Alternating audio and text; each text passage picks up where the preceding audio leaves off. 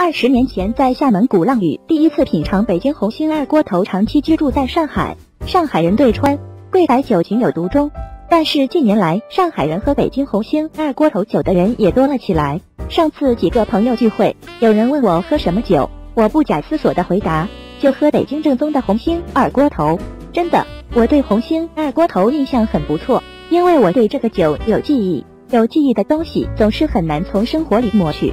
想起来了，二十年前，大概是一九九八年的夏天。上海人民广播电台组织一批编辑记者去福建厦门暑期旅游，我也随行其中。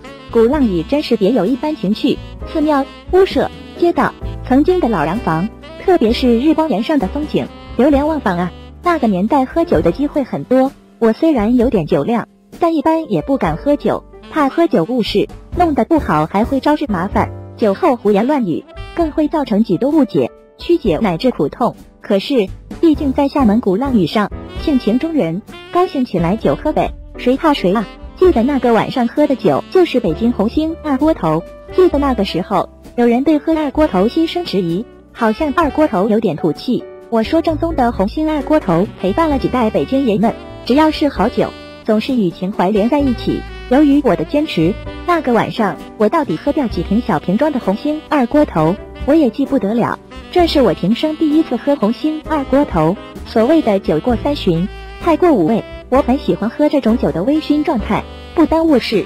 这是我与红星二锅头酒的第一次缘分。一八八零年的厦门鼓浪屿日光岩，老厦门黑白影像。一八八零年鼓浪屿日光岩，中国是个粮食大国，也是产纯粮酒的大国，天时地利近战。从千百年前，中国人就尝到了粮食酒的甜与烈。感受到了属于白酒的肆意豪迈与百转柔情。是的，无论是微醺朦胧，还是大醉一场，属于中国酒之韵之味，就在那份无可替代的肆意不羁中。那看似快要被淹没遗忘的古老文化，其实依旧沉淀在这个民族的血脉里。传统意义上的中国白酒，用的是纯固态发酵酿造法，各类粮食原料经过发酵、糖化、制曲、蒸馏、陈酿以及勾兑调味等步骤，最后形成佳酿。由于原料。酒曲以及制作工艺的不同，白酒通常拥有各自独特的香气、口感。酱香、浓香、清香为三大主要香型。当然，近年来也出现了鲜香、董香、蜜香、凤香、芝麻香、豉香等多种香型。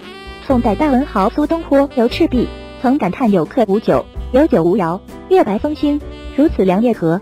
对于好酒人来说，那份够劲、够味的白酒滋味实在很令人怀念。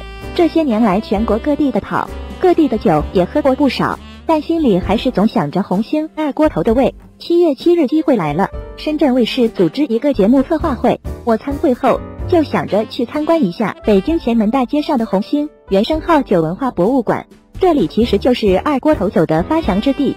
恰巧我的老友《中外酒业》杂志的主编助理沈仲武先生也在北京，于是就与仲武兄一起造访原生号博物馆。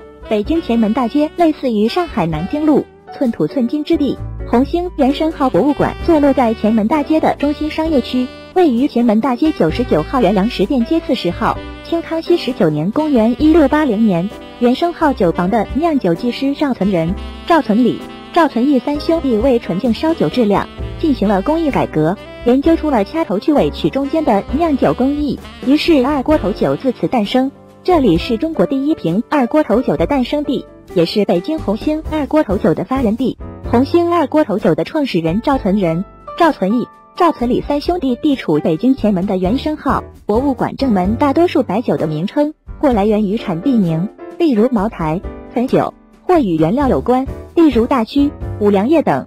而红星二锅头这个名称却是与酿酒工艺有关。高度酒的酿造是中国酿酒业发展到高级阶段。其蒸馏酒技术发明后的产物。关于蒸馏酒的起源，目前众说其出，说起来话就长了，留待日后慢慢解释。且说红星二锅头酒的创始人赵存仁、赵存义、赵存礼三兄弟经营着一家酒房，名曰原生号。赵氏三兄弟原本是山西人。清康熙十九年（公元一六八零年），这三兄弟从山西来到北京，也带来了清香型酒白酒的酿制技艺。为了提高纯净蒸馏酒的质量，进行了工艺改革。一般来说，蒸完一炖桶酒胚，需要在天锅里更换三次冷水，将三次冷凝的酒混合后，就是烧酒的成品。当时这种烧酒的品质很劣，袁生浩的三兄弟在酿酒过程中发现，每个锅次冷凝出的酒液在香气和口味上有明显的区别。天锅里第一次放入凉水冷凝出的酒称为酒头，刺激性较大；第三次放入凉水冷凝出的酒称为酒尾，有杂味。只有第二次换入凉水冷却流出的酒口味最柔和纯正。经过反复的比较和尝试，酿酒技师们就把酒头和酒尾提出来做其他处理。只取第二锅凉水冷却流出的精华酒作为最后的成品，这就是红星二锅头工艺的由来。文官闻香落轿，五官之位下马的铜像群雕塑。文官闻香落轿，五官之位下马的铜像群雕塑前门外原生号酒房的酿酒技师赵存仁、赵存义、赵存礼三兄弟为纯净烧酒质量，发明了掐头、去尾、取中段的二锅头蒸馏工艺，遂成为北京的佳酿。一经问世。就受到京城士子的欢迎，也惊动了清康熙皇帝。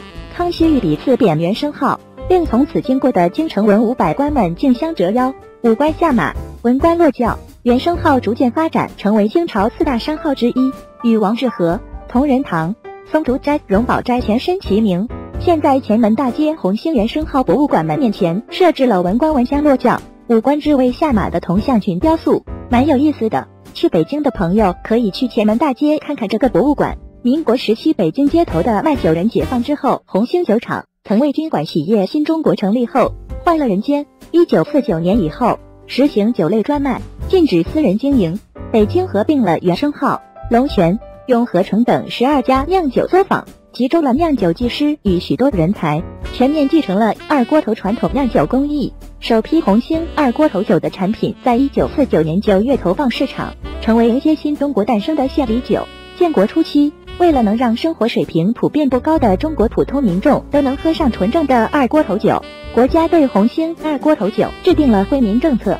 从此，作为新中国第一个以酿酒工艺命名的白酒，六十多年来，红星二锅头始终与百姓的生活和情感融为一体。一九四九年，红星收编十二家老酒坊。一九五零年代，北京百货大楼内售卖二锅头酒，新中国第一家国营北京酿酒总厂，就是现在红星酿酒股份有限公司的前身。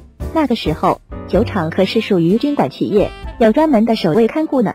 正宗的红星二锅头酿造技艺，始终采用师徒口传心授的方式，秘不外宣。由红星嫡传的北京二锅头酿造技艺，经过一代代人传承。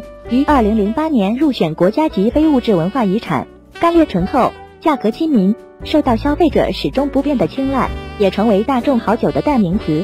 多年来，红星二锅头始终保持着骄人的销量业绩，并成为京城老字号产品的著名品牌。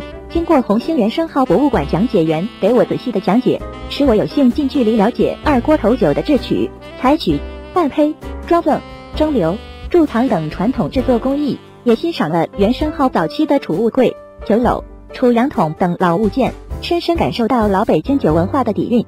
如今红星二锅头已经走出国门，远销海外，异国他乡的老外对红星二锅头情有独钟。看完红星原生号博物馆，我感到收获满满，收获很大。饥肠却辘辘，与中午兄一起就近在原生号博物馆对面的庆丰包子铺点了几个菜，两个老兄弟喝上一瓶红星二锅头，也是别有一番滋味。第二天清晨，我就从京城返沪了。这次学到的关于红星二锅头酒文化的知识，我想还是拿出来与大家分享。红星二锅头酒瓶之一种，二零一八年七月二十二日于沪上五角场宁丰轩。